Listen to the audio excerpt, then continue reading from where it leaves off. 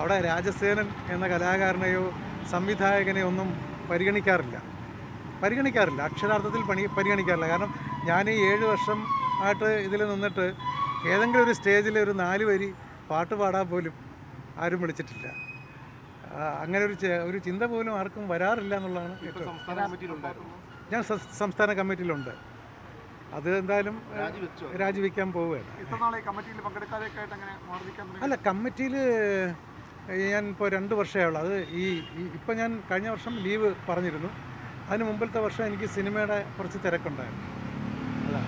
കലാരംഗത്തുള്ള കുറച്ച്. അവരൊക്കെ അങ്ങനെ കലാരംഗത്തുള്ള കുറച്ച് പേരൊക്കെ ബി ജെ പി ആയിട്ട് സഹകരിച്ചൊക്കെ പോകുന്നവരുണ്ടല്ലോ. അവരൊക്കെ അങ്ങനെയാണെങ്കിൽ കൂടുതൽ അവസരങ്ങൾക്ക് വേണ്ടിയിട്ട് അതെനിക്കറിയില്ല. ആര് വന്നാലും സ്വാഗതം ചെയ്യും. കാരണം കലയുമായിട്ട് ബന്ധപ്പെട്ട കലാകാരന്മാരെയും കലാകാരികളെയും നമ്മൾ രണ്ട് കൈ നീട്ടി സ്വീകരിക്കാൻ തയ്യാറാണ്.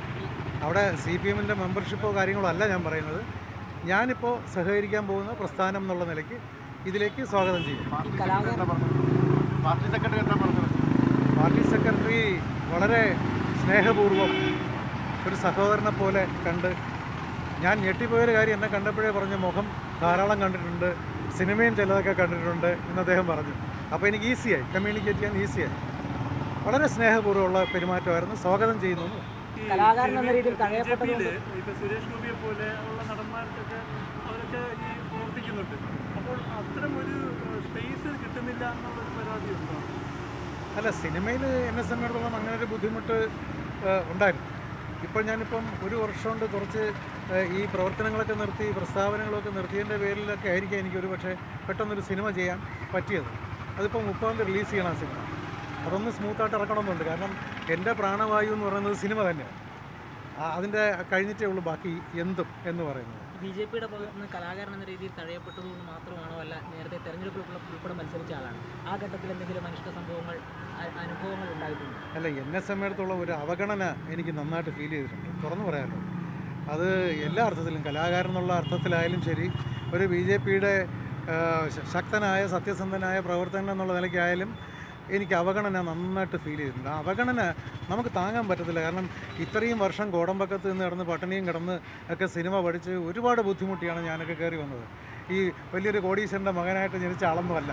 ഒരു ഡാൻസ് മാസ്റ്ററുടെ മകനായിട്ട് ജനിച്ച് ജീവിതം സിനിമയ്ക്ക് വേണ്ടി അർപ്പിച്ചു വെച്ച ഒരാളാണ്. അപ്പോൾ മുന്നോട്ടുള്ള ഒരു പ്രവർത്തനവും ഒരു പ്രവർത്തനവും സ്മൂത്തായിട്ട് പോകുന്നില്ല.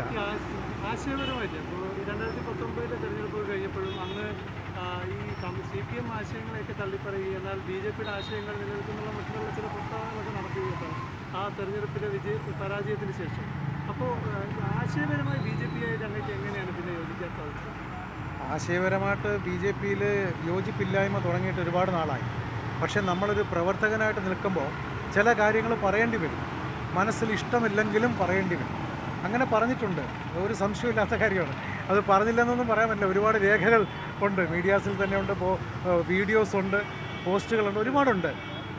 ബി ജെ പിയുടെ ഐഡിയോളജിയും സി പി എമ്മിന്റെ ഐഡിയോളജിയും എന്റെ ഡിഫറെന്റ് ആണല്ലോ അപ്പോൾ ആ, ആ ഐഡിയോളജിയായിട്ട് എങ്ങനെ അങ്ങേക്ക് പിന്നെ ഇത് മുന്നോട്ട് പോകാൻ സാധിച്ചു എന്നുള്ളത്? ഞാൻ ആദ്യം മനസ്സിലാക്കിയത് കമ്മ്യൂണിസ്റ്റ് പാർട്ടിയുടെ ഐഡിയോളജി തന്നെയാണ്.